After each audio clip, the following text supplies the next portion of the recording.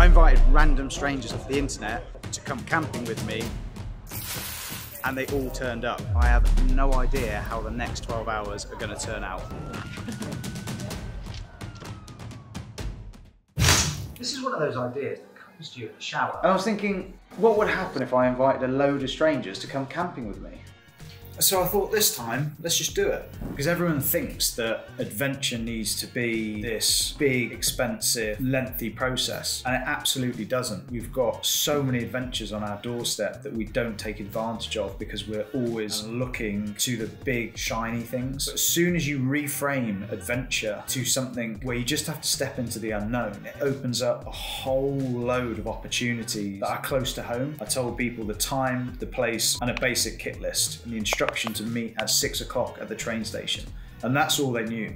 So these people had no idea who was going to be there, who they were going to meet, and what was going to happen. Straight away, it's an adventure. Regardless of anything else, they're stepping in to the unknown, and that's the point.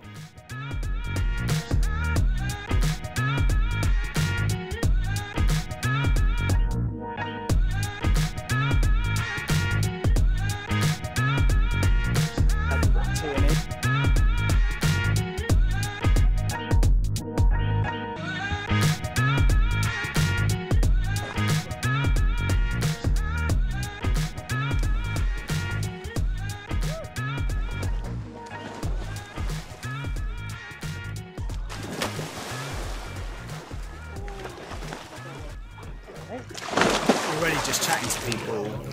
People have come from Manchester, people have come from Leeds. This is on 48 hours' notice, and they've just seen it and taken that step without overthinking it.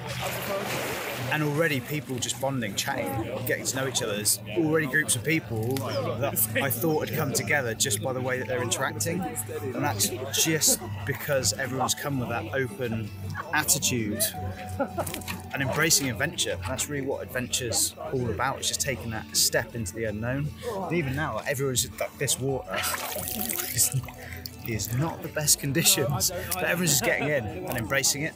Um, it's just awesome. Like, it's just really. This is one of the reasons we started TNE, just to meet people like this and create communities like this. Yeah, it's just amazing.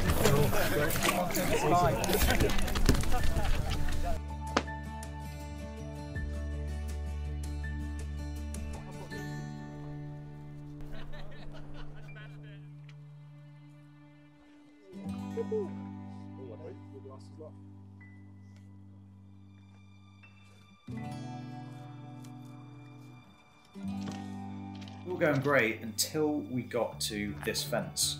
The last time we walked this route was two years ago. Golden rule of the military is time spent on recce is never wasted. We broke that, didn't spend any time on recce in the assumption that it was going to be exactly the same. Turns out in that period, HS2 had started to build their railway line through it. Another military mantra, no cuff too tough. We figured we'd just climb through, go through to the other side, it would be absolutely fine. And then this happened. Did timing go down that way for a recce? Yeah. Well, health and safety uh, executive has uh, arrived. We're not allowed to be in this area, so they're going to have to try and get some vans to take us out.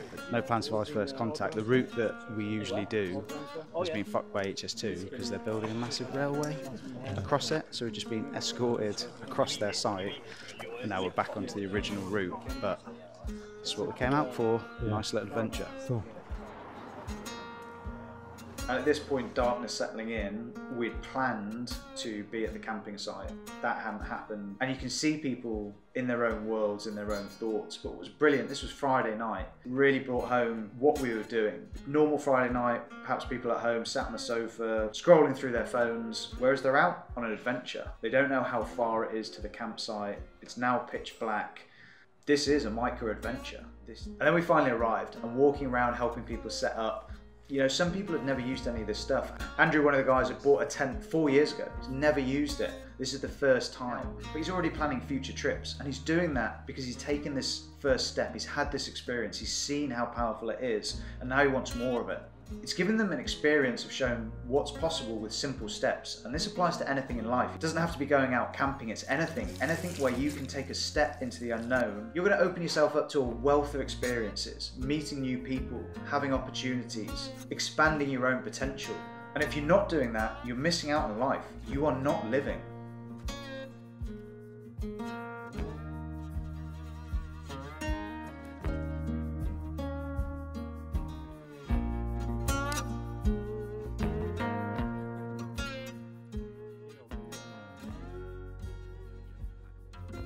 It's a nice random group of people and that's all part of the fun, isn't it? Really, getting to chat to people from all over the country ah, and have a great time. Sweat a lot.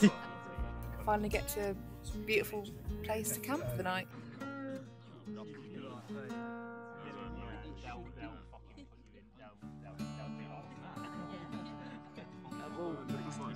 It was real last minute. It came about just a few days ago um, in the week, and it, it was the way it was worded was quite cool. It was like, "What are you doing Friday? This is what we're doing. Who's joining?" And um, and I was like, "Yeah, I'm up for that." I'm I'm quite I enjoy spontaneous sort of stuff as well. So this came about. I looked at where it was. It was pretty accessible. So thought that that suits me. Um, and it's been good actually. Didn't know anyone on the course. It was nice to meet people. It's been it's been fun. It's been it's been what it says on the tin as well. There was a few sort of few moments that you just didn't expect, but it kind of adds to it. It's the whole. That's what it was exactly what it's all about. It's it's it wasn't planned, and it's you just get on with it and just work around it. So it's, it's kind of like I think that's that's pretty good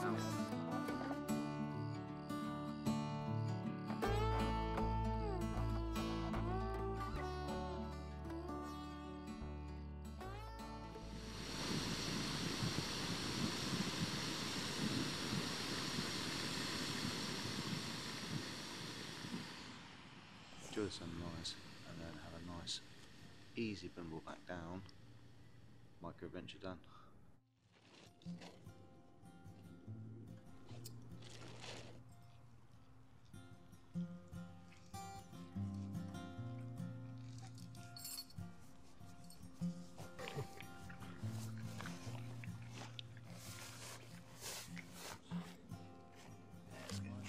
How's night?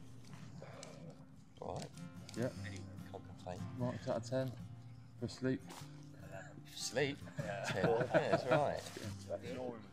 But no, yeah, it was cool, yeah. I met Nathan yesterday. Oh, So, really? yeah, that's cool. Oh, class.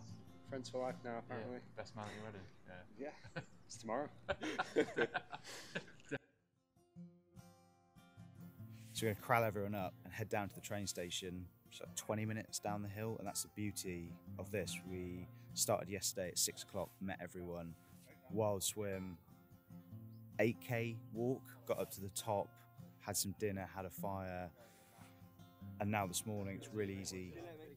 Trek back down. So less than 12 hours, had great experience, got outside, met new people, everyone's bonded so well and it's just removed the barriers. I was just chatting to a guy there. He's had a tent for five years, had all the gear, and has never really used it. But when he saw the post, that was the spur for him to jump on and do it.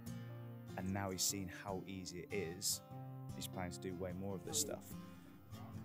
And that's the point of a micro adventure, is to show that there are so many places in the UK that are great for having an adventure. Don't need to spend loads of money. Don't need to plan months in advance it's just having the confidence i think to just take that step just just to go out and explore and when you do the opportunity opportunities just open up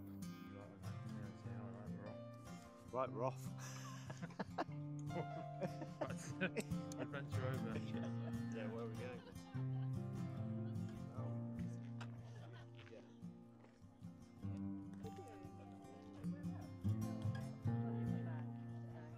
Doch.